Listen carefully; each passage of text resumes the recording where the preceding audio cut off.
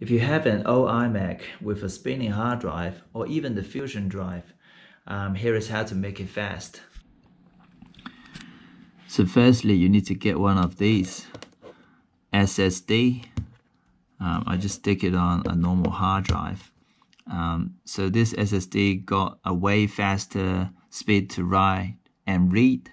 So when you attach that to the back of your Mac,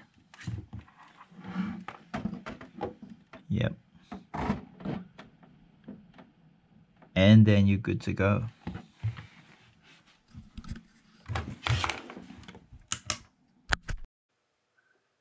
So after you plug in the SSD into your Mac, um, the first thing to do is to check the status, see if you can see the storage.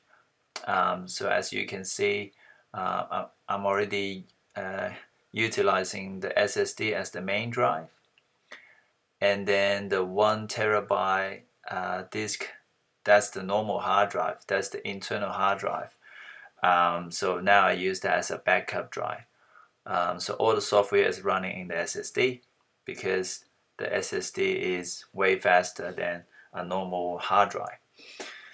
Um, so what we're gonna do first is to erase all the data in the SSD to change the format into the one is suitable for um, Mac to run it um, as the main drive.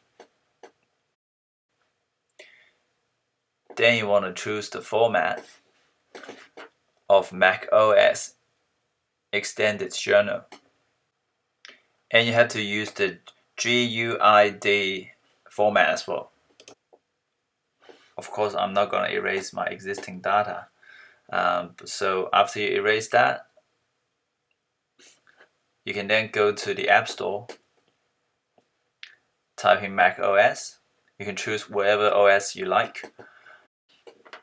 And then when you install it, you install it in the SSD instead of your existing hard drive so that the new system will be running in your external SSD after you complete the installation, you can choose the startup disk by going to the option. Uh, as you can see, there are two drives to select. Um, I already select the SSD as the startup disk, so it will run whatever system in the external SSD instead of the uh, instead of the internal one then all you need to do is just to restart your computer. And then the computer is gonna utilize your SSD drive as the main drive. So all the Mac OS and software should be installed in that drive. Um, therefore it's gonna be real fast. Hope you enjoyed this video. I'll see you guys in the next one